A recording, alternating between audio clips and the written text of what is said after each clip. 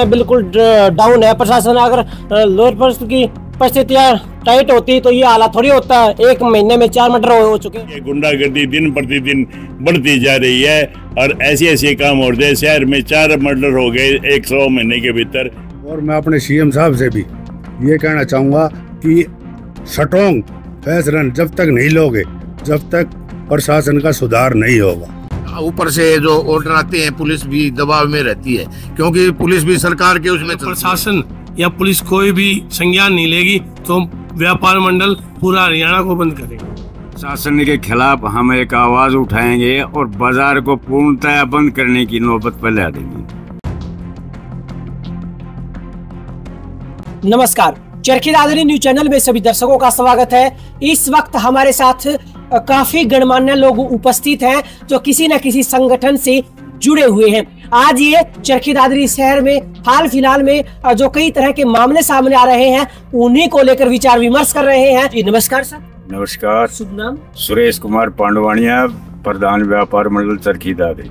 आज तमाम जो प्रधान है वो इकट्ठा हुए हैं किस बारे में? ये शहर में और पूरे प्रदेश के अंदर ऐसे बुरे हालात हो रहे हैं। दिन दहाड़े गोली कांड होते हैं, आदमियों को कत्लेआम किया जाता है, लूट खसोट होती रहती है। कोई किसी प्रकार की उनके प्रति कार्रवाई नहीं कर रहा है प्रशासन और न ही सरकार कर रही इसलिए ये हमारे गणमान्य व्यक्ति, हमारी रहनुमाई में एकत्रित हुए हैं ताकि हम कम से कम अपना विरोध तो जता सकें और कुछ नहीं कर सकते हैं। इसलिए हम सरकार से और प्रशासन से मांग कर रहे हैं कि इनको तुरंत प्रभाव से गिरफ़्तार किया जाए और कड़ी से कड़ी सजा दी जाए ताकि आगे ये अगर हौसला इसी प्रकार से बढ़ता रहा तो ये बेकाबू हो जाएगा।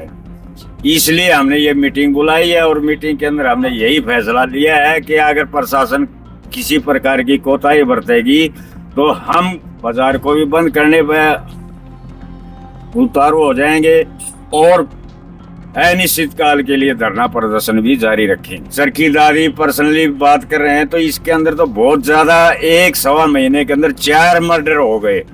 ठीक है ट्रेस आउट हो जाते हैं, लेकिन फिर एक खड़ा हो जाता है।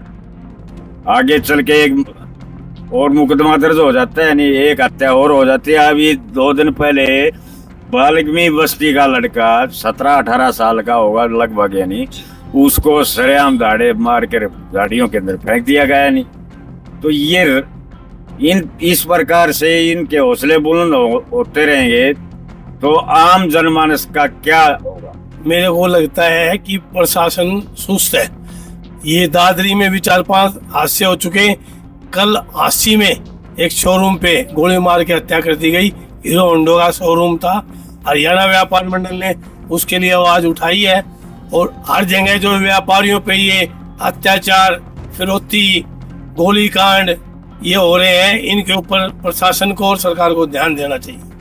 देखिए, प्रधान जी का कहना है कि एक सवा एक महीने के अंदर लगभग चार हत्याकांड चरखी दादरी में हो चुके हैं और इस तरह की इस तरह के जो मामले हैं, वो रुकने बेहद आवश्यक है, क्योंकि आने वाले समय में आने वाली जो पीढ़ी है, युवा है, उन पर इसका काफ़ी नकारात्मक असर होगा। ऐसे में चरखी दादरी जिला प्रशासन की सुस्ती के कारण इस तरह की लगातार घटनाएँ बढ़ती जा रही है, ऐसा प्रधान आरोप लगा रहे हैं। संदीप जी, अगर बात की जाए तो वर्तमान में क्या हालात है लो एंड ऑर्डर के?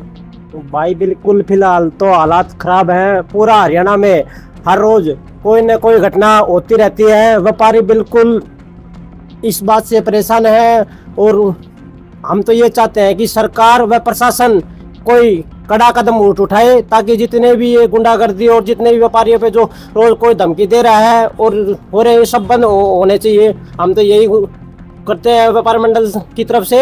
ताकि प्रशासन कोई ना कोई कार्रवाई करे और सरकार भी। ये प्रशासन है कोई ठोस कदम तो उठाते नहीं है। एक दो पकड़ लिए जो अपराधी थे वो उनको भित्ते गिर दिए जमानत पे आते हैं आते ही फिर हो जाते हैं। इन इनको जो भी जो अपराधी है इनको पकड़ना चाहिए और इन पे सख्त कार्रवाई होनी चाहिए। ये बिल्कुल डाउन है प्रशासन। अगर लोअर पर्स की परिस्थितियाँ टाइट होती तो ये हालात थोड़ी होता है। एक महीने में चार मर्डर हो, हो चुके हैं।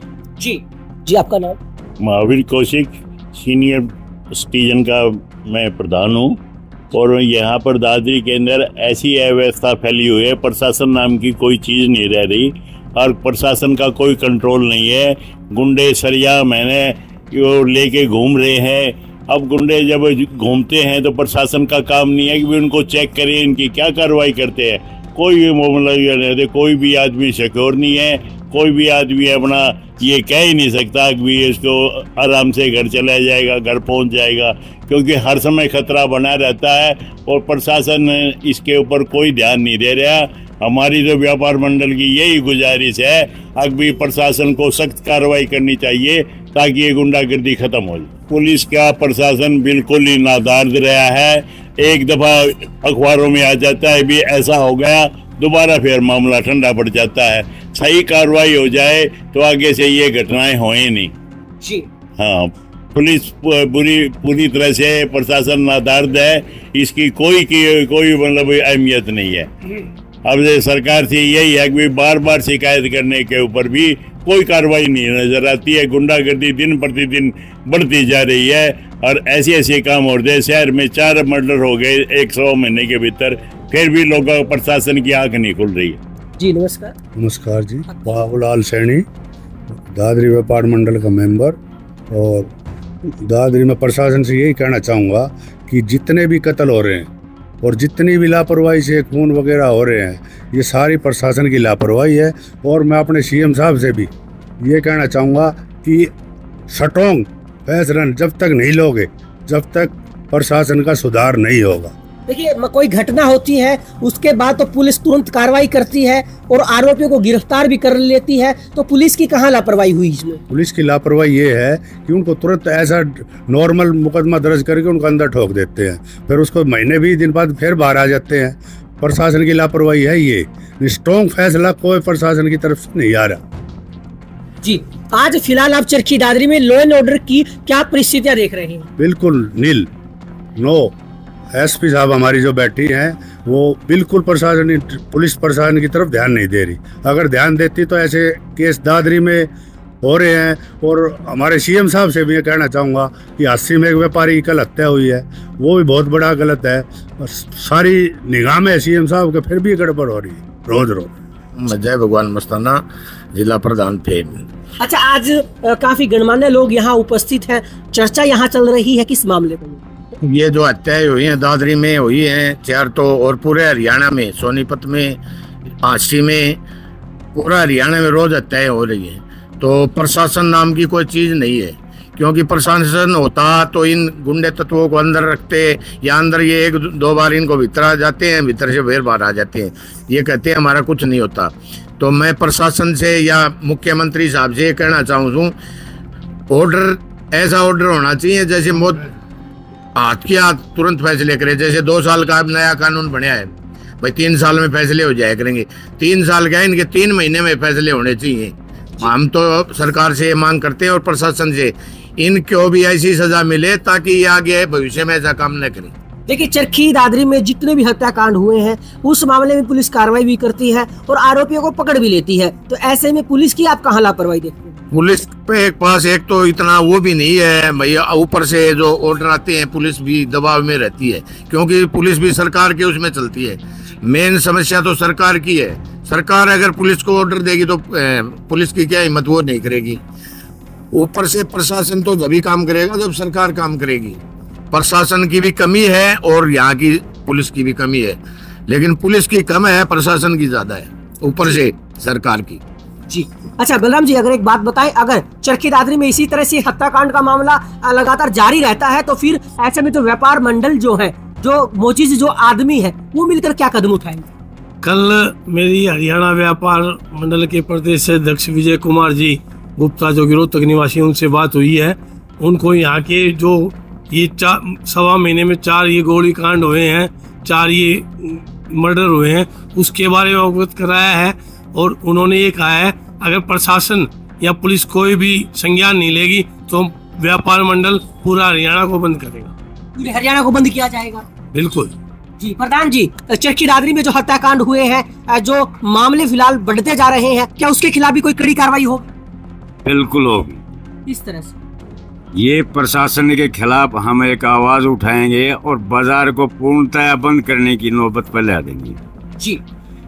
कुछ समय पहले की बातें, कुछ साल पहले की बातें, चौधरी बंसीलाल के मुख्यमंत्री टाइम में, पहली बार मुख्यमंत्री के टाइम में, यहाँ एक समारोह के अंदर एक बैड एलिमेंट बदमाशी कर रहा था। एस एच ओ साहब ने कहा कि चो साहब, फलाना आदमी बदमाशी करे तो चौधरी बंसीलाल मुख्यमंत्री होते, उसने सिर्फ़ एक ही बात कही थी, कानून अपना काम करे। जब तक इस प्रकार के फैसले नहीं लेगा सरकार यानी कि भाई कानून अपना काम करे। तब तक ये जातियाँ होती रही। क्या आप अधिकारियों से भी इन मामलों को लेकर मिलेंगे? नहीं समय ही समय अधिकारियों से मिलने का फिर उनको टाइम देने का लेकिन अगली बात के ऊपर विचार करने वाली बात है जो मर्डर हो जाते हैं उनकी गुत्थी सुलझी भी जाती है लेकिन उससे आगे जी।